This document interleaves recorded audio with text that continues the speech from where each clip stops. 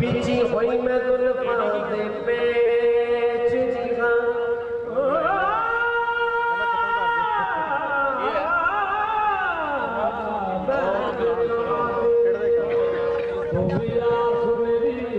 ਲੈ ਕੇ ਪੀ ਉਹ ਕੱਲਾ ਕੱਲਾ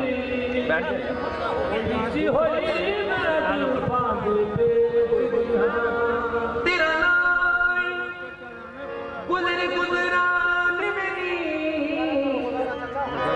पल्ले कुछ भी नीना कुछ बेच जीना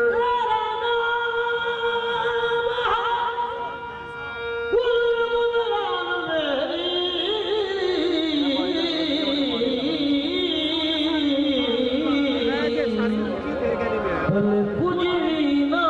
कुछ बेच जीना चार